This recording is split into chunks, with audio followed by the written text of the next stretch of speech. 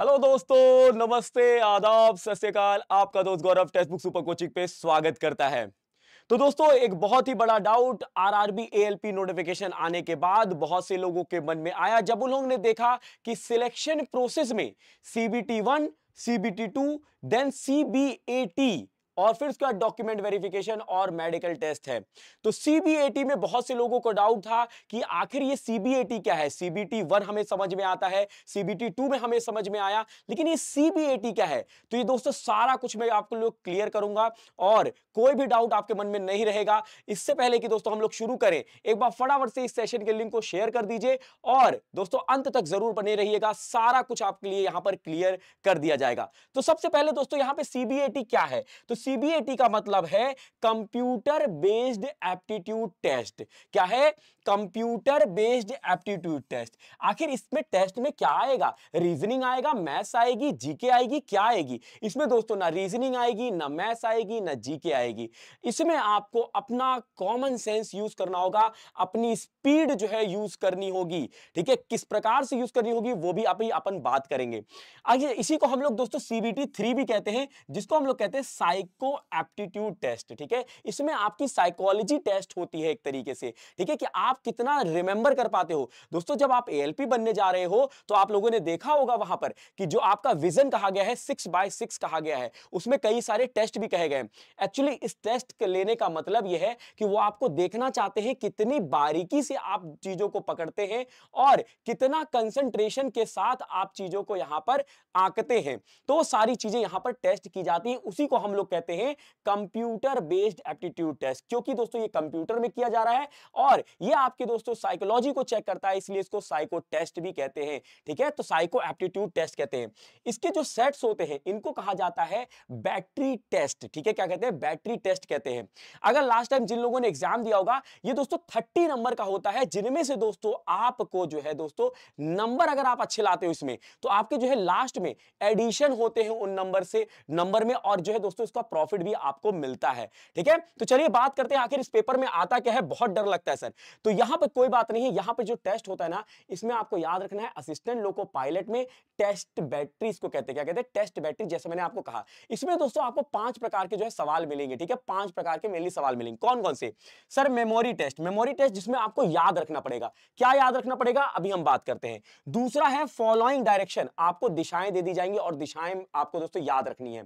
Third आता है depth perception test मतलब आप कितना जो है दोस्तों डीप में जाके, बारीकी से जाके दोस्तों देखते हैं और ऑब्ज़र्व करते हैं। चौथा होता है कंसंट्रेशन टेस्ट और पांचवा होता है परसेप्चुअल स्पीड टेस्ट आपकी स्पीड कितनी है? ये पाँच चीज़ें आकी जाती है। आखिर इसको किस प्रकार से आका जाएगा? कंप्यूटर बेस्ड एप्टीट्यूड टेस्ट में उसको हम लोग जांचते हैं, ठीक है?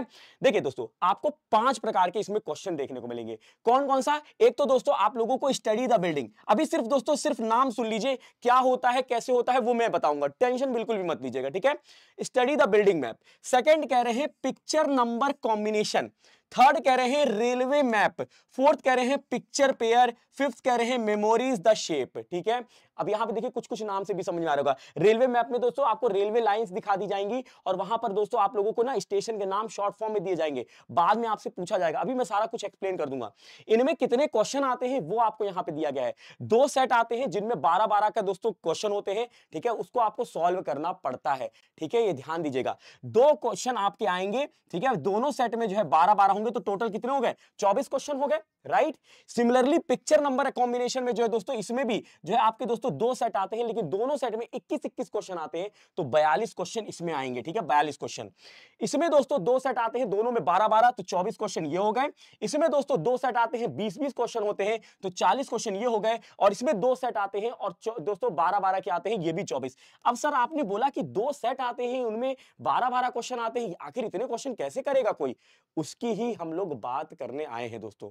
देखिए दोस्तों, अब आप सोच रहे सर, ये टाइम हमें समझ नहीं आ रहा क्या हो रहा है? मैंने आपको कहा, दो सेट आते हैं पेपर इसमें, दो सेट ठीक है? इसमें दोस्तों एक होता है स्टडिंग क्या होता है? स्टडी और एक होता है दोस्तों, जिसमें आपको आंसर करने के लिए समय दिया जाता है। स्टडी के लिए दोस्तों आपको दो मिनट मिल रहा है, आंसर करने के लिए दो मिनट। मतलब एक सेट में दोस्तों आप लोगों को कितना समय मिल रहा है? तो आप लोग याद रखिएगा यहाँ पे चार मिनट। और चार मिनट को आप दोस्तों दो से मल्टीप्लाई करोगे, क्योंकि दो सेट है तो यहाँ पर आपका कितना हो जाएगा? चार दूनी आठ। आठ मिनट आपको यहाँ पे समय मिलेगा किसमें? Study the building map. Sir, हमें यहाँ पे बिल्कुल नहीं समझ में आ रहा है, बताइए और क्लियर। चलिए, कोई बात नहीं, मैं आपको स्टडी द बिल्डिंग मैप बताता हूँ। ये रहा आपके सामने स्टडी द बिल्डिंग मैप कहोगे, सर, ये क्या है? ये तो मुझे समझ में नहीं आ रहा। कोई बात नहीं, सिर्फ़ आप इसको देखिए और याद कर लीजिए। इसको देखिए और याद कर लीजिए कि कौन सी चीज़ कहाँ पे मौजूद है। जैसे अगर आप देखोगे ये दोस्तों एक हट है, ठीक है? यहाँ पे दोस्तों दूसरे टाइप का हट है और यहाँ पे तीसरे टाइप का हट है। अपने माइंड में रख लीजिए कौन सा हट कहाँ पर है। क्योंकि एग्ज़ाम में दोस्तों इसको देखने का समय दो मिनट मिलेगा। अब आप कहोगे इतना छोटा? नहीं, इसमें और भी डायग्राम मिलेंगे। तो मैंने आपको एग्ज़ाम्पल बताया है। तो मैंने आपको क्या कहा? दो मिनट आपको स्टडी मिलेगा। स्टडी पेज इसको कहते हैं स्टडी पेज क्या कहते हैं? स्टडी पेज इसको दो मिनट तक देख लीजिए घूर घूर के एकदम, भैया अच्छे से देख लीजिए, कोई चीज़ छूटे ना, ठीक है? अब दोस्तों क्या होगा? अब अगला स्टेज आएगा। क्वेश्चन ये है, इसको देख लीजिए। आंसर अब करने के लिए आएगा आपको। यहाँ पर अब आएगा इस प्रकार से। अब ये गायब हो जाएगा। अब ये आपके स्क्रीन पर नहीं दिखेगा।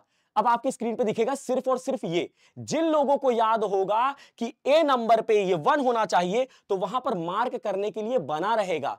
ठीक है? तो मार्क आपको करना पड़ेगा कि ए में तो दोस्तों ये आएगा।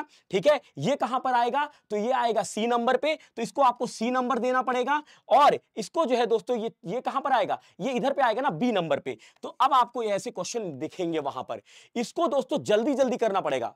मैंने कहा था दो सेट आएँगे।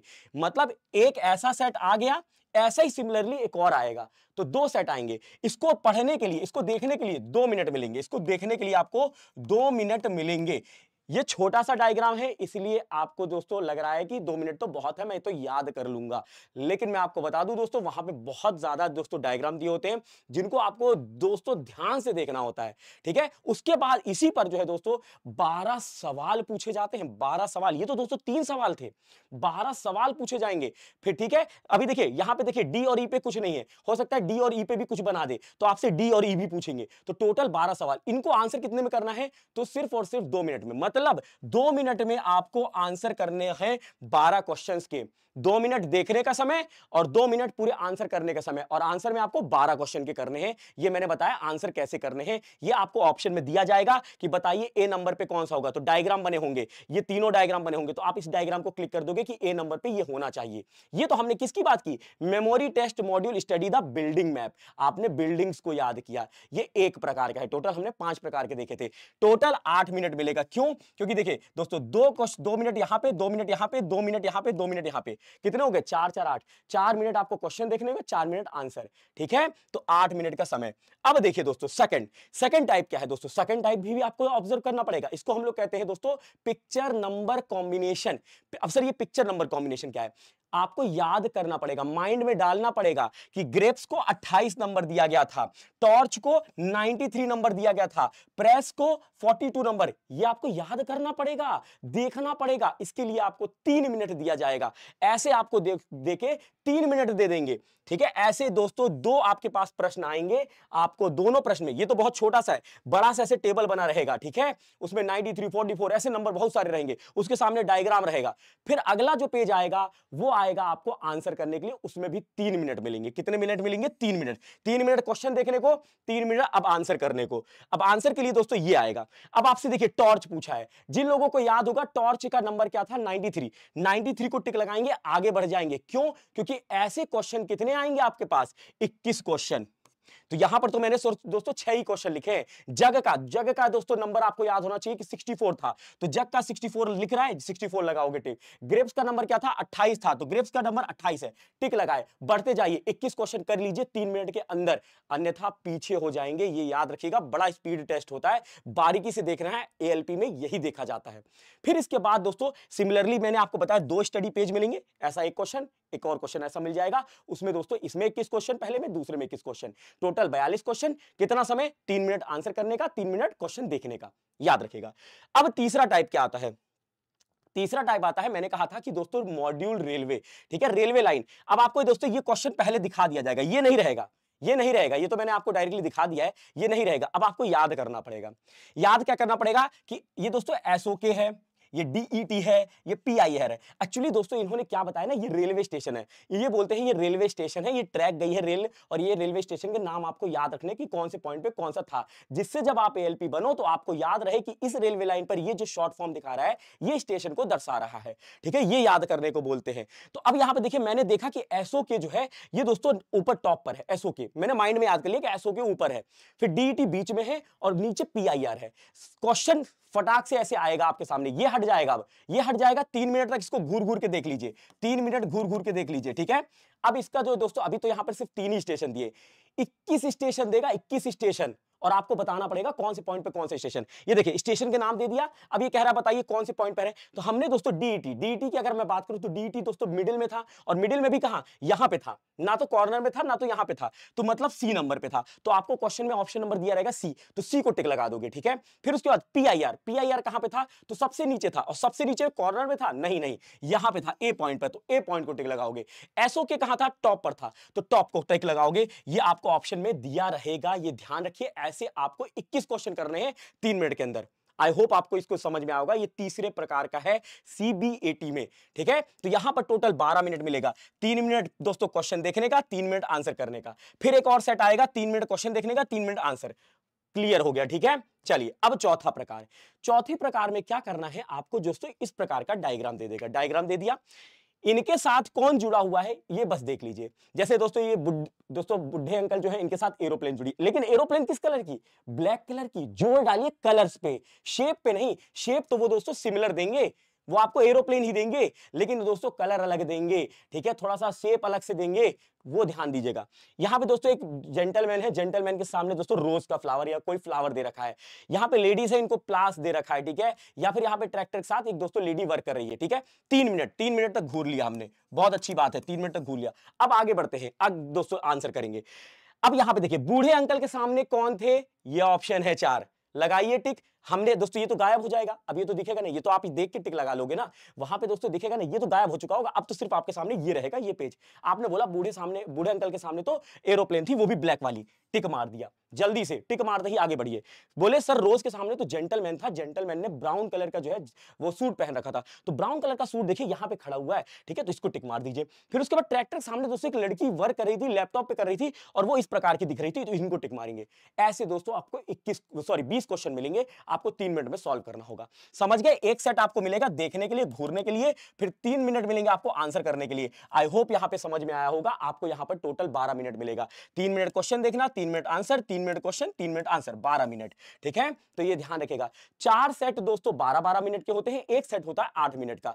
तो बारह चौका अड़तालीस, और अड़तालीस और जो आठ जो मिनट होते हैं तो छप्पन मिनट का ये पूरा पेपर होगा। ये ध्यान रखिएगा, ठीक है? चलिए, अब इसके बाद बात करते हैं दोस्तों पांचवा प्रकार। ये पांचवा प्रकार आखिरी प्रकार होता है, ठीक है? जिसमें पूछे जाते हैं। इसमें आपको शेप को याद करना होता है। कैसे शेप को याद करूँगा मैं? मैं इसको शेप को याद करूँगा। ये दोस्तों पेयर में है, ये पेयर में है और ये पेयर में है। इन्हीं को शेप को मैं याद करूँगा, राइट? मैं बोलूँगा कि दोस्तों, ये दोस्तों इस प्रकार का शेप था। बीच में थोड़ा छोटा सा था और नीचे ये हॉरिजॉन्टल था। ठीक है, ये देखेंगे। फिर यहाँ पे दोस्तों ये साइज़ देखिए डिक्रीजिंग ऑर्डर में आप याद कर लीजिए। यहाँ पे कुछ इस प्रकार से ये दोनों दोस्तों सॉलिड है, ये दोस्तों हॉलो टाइप का दिख रहा है। यहाँ पे ये सॉलिड है, ठीक है? अब देखिए क्वेश्चन क्या आएगा? तीन मिनट तक घूर लीजिए, तीन मिनट तक घूर लिया भाई। अब इसके बाद आंसर करेंगे। यहाँ पर बारह क्वेश्चन आपको ऐसे दिए जाएँगे, ठीक है? अब ये आया आपके सामने क्वेश्चन अब आपसे पूछ रहा है, इनमें से कौन सा पेयर सही है? हमने देखा था सॉलिड वाला ये है, ठीक है, ये कैसे दोस्तों पतला सा हो गया? नहीं, ऐसा तो कुछ नहीं था, ऐसा तो कुछ नहीं था, ऐसा तो कुछ नहीं था, ये तो उल्टे ही हो गए, ये तो उल्टे वाले तो कुछ करने ही नहीं है। हमें थोड़ा थोड़ा सा लग रहा है, भाई ए ऑप्शन नहीं लग रहा? ए ऑप्शन इसके साथ मिल रहा है, बिल्कुल सही बात है, दूसरे ऑप्शन पे आ जाते हैं। अब यहाँ पर देखिए दोस्तों, यहाँ पर क्या क्या है, इनमें से कोई मिल रहा है? तो दोस्तों, आपने देखा होगा, हमने दो सॉलिड देखे थे तो यहाँ तो दो सॉलिड है, लेकिन इसका डायरेक्शन बदला हुआ लग रहा है। ये सही लग रहा है तो इसको टिक मारिए, बाकी को छोड़ दीजिए।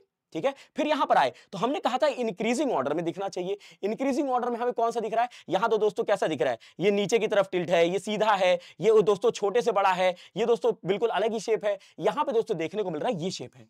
इसको आंसर करना पड़ेगा। ऐसे क्वेश्चन बारह आएँगे आपके पास। उन बारह क्वेश्चन को आपको सॉल्व करना पड़ेगा तीन मिनट के अंदर। ठीक है? तो आपको ध्यान रखना है, शेप को याद करने के लिए तीन मिनट आपको मिलेगा और आंसर करने के लिए आपको तीन मिनट मिलेगा। तो ऐसे चार सेट मैंने आपको बताए बारह बारह मिनट के होते हैं तो अड़तालीस मिनट हो गया और एक सेट जो पहला वाला सेट होता है, वो आठ मिनट का होता है, जिसको हम लोग बैटरी टेस्ट कहते हैं। ठीक है, ये सारे बैटरी टेस्ट है तो उसमें आठ मिनट तो अड़तालीस, आठ आपके छप्पन छप्पन मिनट का ये पूरा पेपर होगा और ये तीस मार्क्स में से दोस्तों यहाँ पर नंबरिंग होती है, ये ध्यान रखिएगा, ये पूरा सीबीएटी होता है। ठीक है? आई होप ये दोस्तों आपको जो सीबीएटी को लेकर डाउट था, मैंने पूरी कोशिश की है कि आपको पूरी अच्छे तरीके से समझ में आ जाए। अगर फिर भी किसी प्रकार का आपको डाउट होता है तो कमेंट बॉक्स में आप अपने कमेंट को मेंशन कर सकते हैं। हम लोग ट्राई करेंगे कि आपके उस सारे डाउट्स को क्लियर किया जाए जो आपके पास अभी है। और जो लोग तैयारी कर रहे हैं एलपी के लिए तो दोस्तों फटाफट से लग जाइए और तैयारी में और छोड़िए कुछ भी मत। तो चलिए मिलते हैं अगले सेशन में। तब तक लिए रखिएगा आप अपना ख्याल। बाय बाय टेक केयर जय हिंद, जय भारत।